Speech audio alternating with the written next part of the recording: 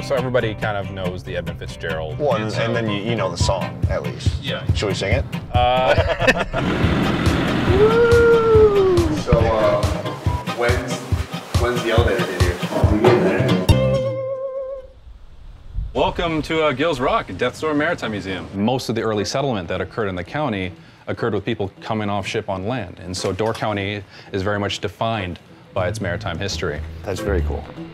The commercial fishing tug is really kind of iconic to the Great Lakes, but then also this area in particular. So it was very easy and very simple and cost effective to just take an old tugboat, put on a new cabin, and convert it with the necessary equipment. These turned out to be very well adapted for the climate. And so the design stuck.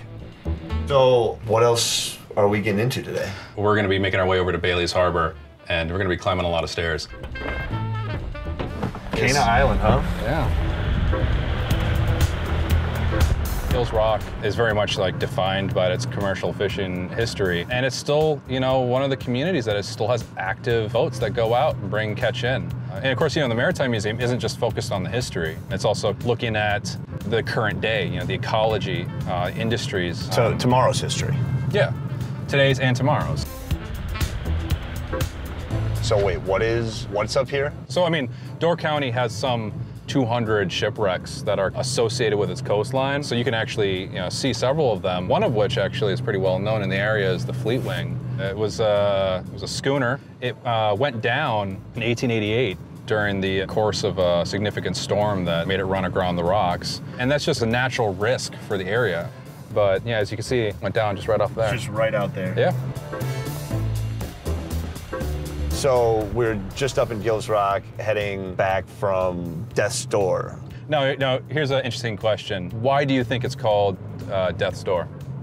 because it's a dangerous passage. You know, and that's actually a common answer. A lot of people say, oh, you know, all the shipwrecks. But the reality is that name is much older. It goes back to the French, who called it Porte des Morts. And that actually came off of when they first came into this area in the 1600s. In the peninsula, you had the Ho-Chunk. And Washington Island, you had Potawatomi.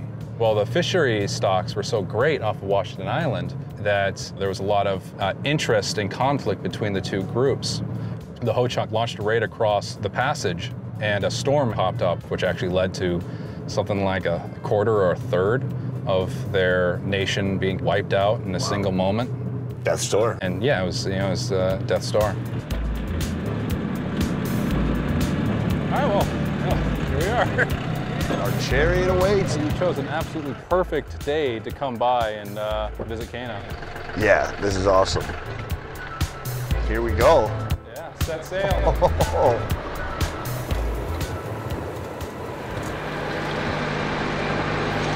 I mean, I think this is one of the absolute best walk-ups you could ever do. Yeah. You know, you just see this coming out of the tree line. You know, that is 107, 108 feet tall altogether. So it's it's pretty big. It's the, definitely the, the largest lighthouse in all of Door County. So if we continue, we've got Lighthouse Keeper's Quarters. It's, you know, it's built in that Milwaukee cream city brick. When they use that building material for the tower itself, the weather conditions uh, just really wore away at it. And that's why uh, you see now it's got the steel cladding wrapped all around it. How many steps did you say this thing had? Uh, 97? All right. Let's get going.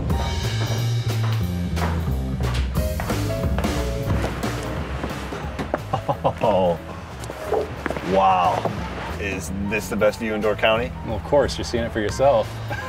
Hey, no arguments here. I mean, it's still an active native navigation, so it still does serve its original purpose in some capacity. And one of the best parts of this lighthouse is that it's Fresnel lens. It's staying here. It's not getting moved out. Uh, it's just a living monument to you know where we've been and you know where we are going.